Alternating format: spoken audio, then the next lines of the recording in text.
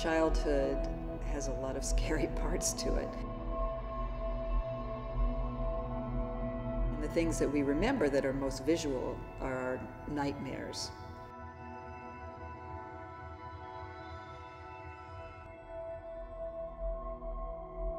It shocks people, as a lot of them are pretty violent.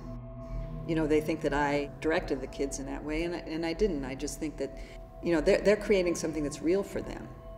It's not ironic in the way that, you know, an adult might, might do.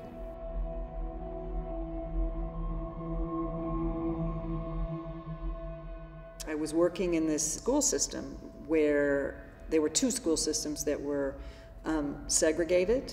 They were trying to um, combine them.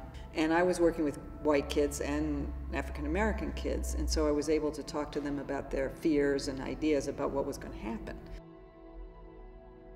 This vision of these photographs that are very much like these photographs here came to me as the idea of using using black and white as an idea of you know of, of race divide, but but also how you could change it with with the markers and you could scratch on it and and um, that they could create different personas.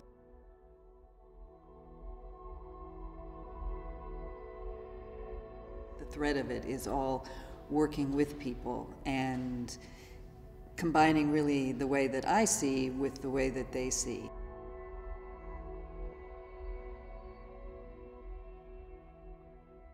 It's really important for me that the, that the pictures are good. And, and I don't mean pictures are good in the sense of, you know, art school good or, or my perceptions of, of what good is, but, but something that really is very deep that, that comes out.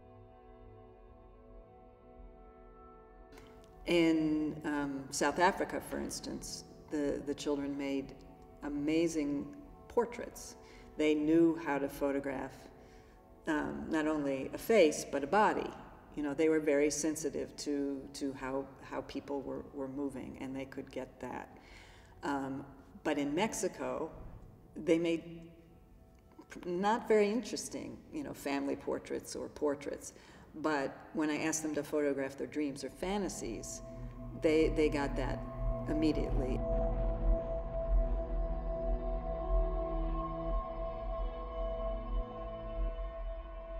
And actually I just mentioned it, uh, we were going to do fantasias, and the next day they came, some of them came with masks that they had made out of the back of cracker boxes because they don't, don't have any materials to make anything. And they were this, these beautiful sort of Mayan masks.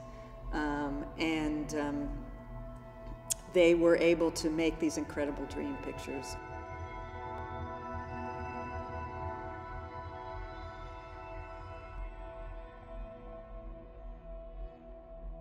Kids easily bring the images out of there.